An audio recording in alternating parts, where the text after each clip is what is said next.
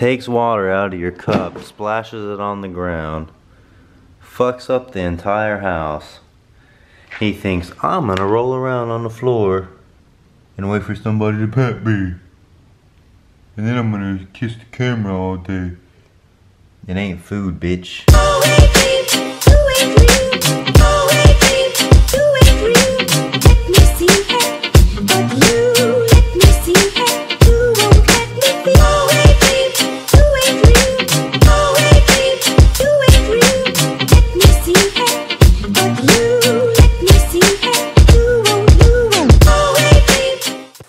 What's up guys? So today we're going to go ahead and tackle this fuse panel. Uh, what we got right here is some ABS plastic I think it's called. You can pick this up off Amazon, eBay, uh, Google, wherever the hell you want to go to. Um, and then you'll just have to cut it if you're looking to install it in a car or whatever you're using this for. Um, and right here we have some relays.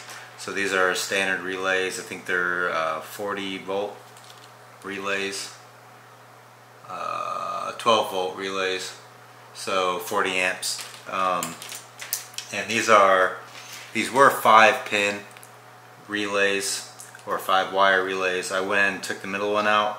Uh, the middle one was originally this red and what that's going to do, actually I'll just tell you later whenever we get into it. But basically I just took the red one out, took this blue wire that was out of here and pinned it with the red because this is going to be my new power.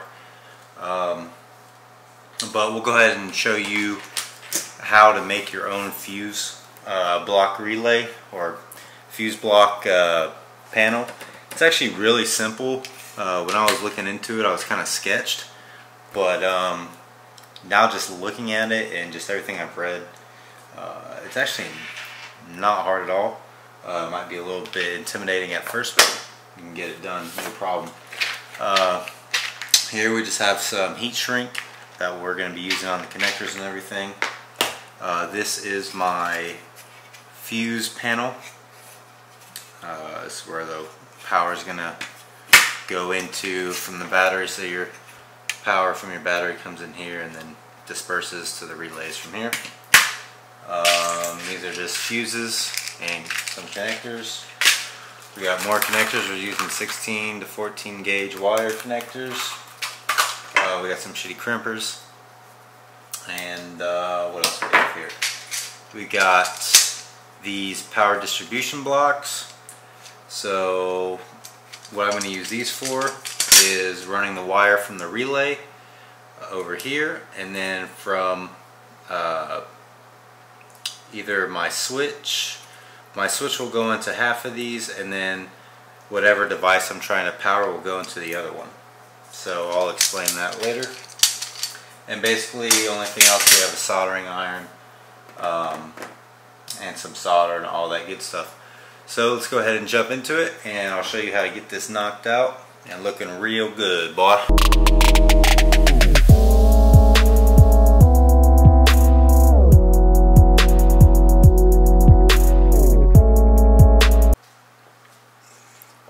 Now I'm not sure if you can see it in the video or not, but you might be asking yourself, why is that plastic so spotty and weird looking?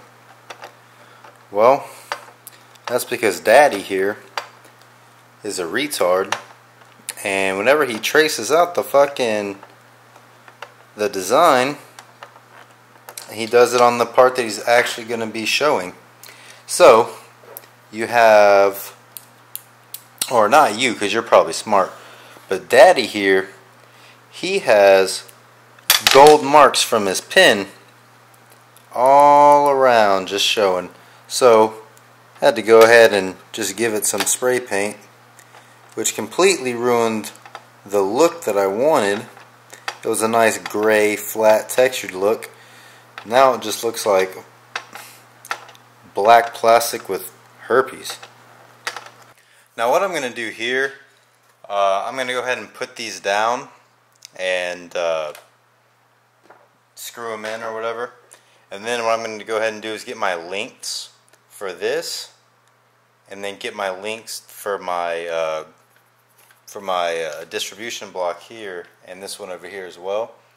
I'm going to take them back off so I can get some nice, uh, nice solder, a nice solder job on these wires, and because uh, I don't want it, I don't want to be sitting here with a solder gun, fucking up, dripping shit. Uh, so that's what we're gonna go ahead and do. We're gonna get the links, and then after that, we'll take it back off and go through the motions.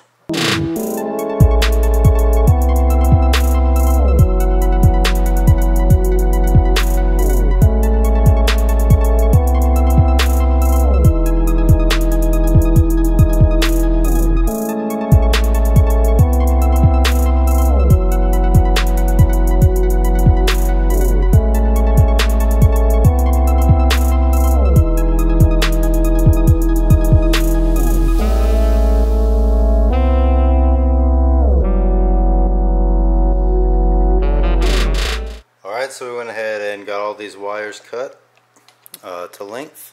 So we're going to head and throw some connectors on them, heat shrink them. We're going to do that over here at this station.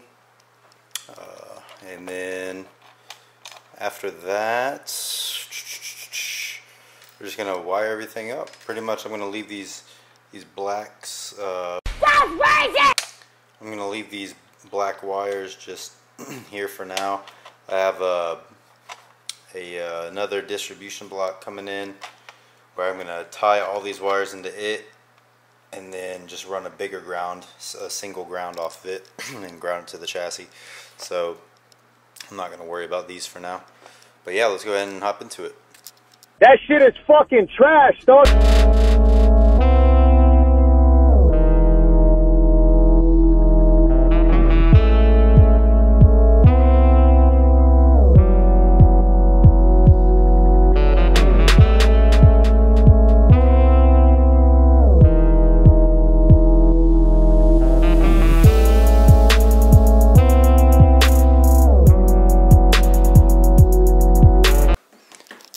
So I went ahead and got everything put together.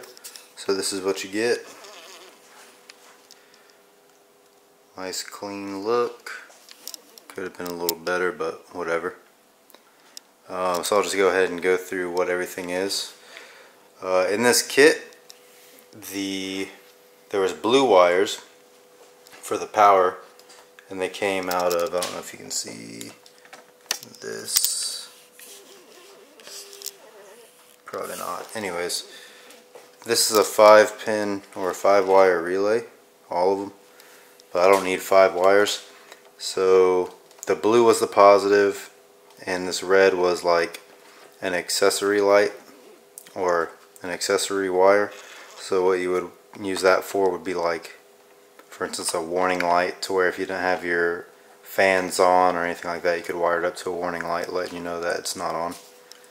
Um, but I didn't like the fact that there's blue being my power, more of it being red, so I know what it is. So that's why I switched that and I depinned it because I didn't need the other one.